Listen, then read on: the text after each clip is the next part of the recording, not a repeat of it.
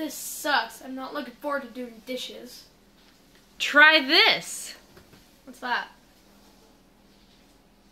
Kitchen soap? Scentsy kitchen soap. Yay, dishes! All right, we'll try it and see if it makes it any better. Okay. What scent is this one in? Sunkissed citrus.